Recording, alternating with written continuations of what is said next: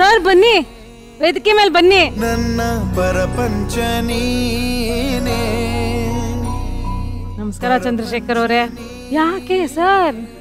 ಅಳ್ಬೇಡಿ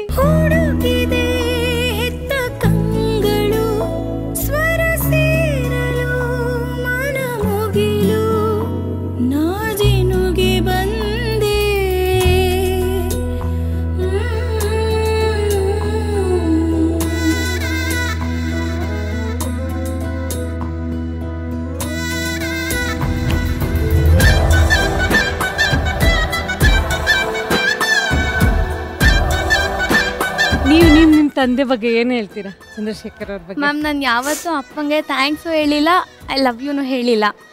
ಇವಾಗ ಹೇಳಿ ಅಪ್ಪ thanks I love you so much hug ಮಾಡ್ಬಿಡಿ ಅವ್ರನ್ನ ಇಲ್ದಿರೋರು ಬೇಜಾರ್ ಮಾಡ್ಕೊತಾರೆ ರಾಣಿ ಅವರೇ ನಿಮ್ಮ ಮಗಳ ಬಗ್ಗೆ ನೀವೇನು ಹೇಳ್ತೀರಾ ಹೇಳಿ? ತುಂಬಾ ಖುಷಿ ಆಗುತ್ತೆ ಮ್ಯಾಮ್ ಹೌದಾ? ತುಂಬಾ ಹೆಮ್ಮೆ ಆಗುತ್ತೆ ನಮ್ಗೆ. ನಿಮ್ಮ ಯಜಮಾನ್ರು ಕಣ್ಣೀರ್ ಹಾಕೊಂಡ್ಬಿಟ್ರಲ್ಲ? ಮಗಳು ಈ ತರ ಬಂದಿರೋದೇ ಅವಳ್ದು ಅವ್ರಿಗೆ ದೊಡ್ಡ ಖುಷಿ ಮ್ಯಾಮ್ ನೀವ್ ಹೇಳ್ತಿದ್ರಿ ತನ್, ನಿಮ್ ತಂದೆ ನಿಮಗೆ ತುಂಬಾ ಕಷ್ಟಪಟ್ಟು ಸಾಕಿದ್ದಾರೆ ಅಂತ. ಯಾಕ ಯಾಕ ಮಾತು ಹೇಳಿದ್ರಿ ನೀವು? ಬೆಳಗ್ಗೆ, ಮಧ್ಯಾಹ್ನ, ರಾತ್ರಿ ಒಂಚೂರು ನಿದ್ದೆ ಇಲ್ಲದೆ ಆಗ ಕಾರ್ ತೊಳೆಯೋದು ಮಾಡಿದ್ರು. ಈ ಅಂಗಡಿ ಇತ್ತು, ಸೈಕಲ್ ತುಂಡಿದ್ದಾರೆ ಈಗ ಸೇಲ್ಸ್ ಮ್ಯಾನ್ ನಾವು ಇಷ್ಟೆಲ್ಲ ಕಷ್ಟಪಟ್ಟು ಇಷ್ಟು ಮೇಲ್ ಬಂದಿದ್ದೀವಿ ಅಂದರೆ ನಂಗೆ ನಿಜ ಹೆಮ್ಮೆ ಆಗುತ್ತೆ ಮ್ಯಾಮ್ ಆ್ಯಕ್ಚುಲಿ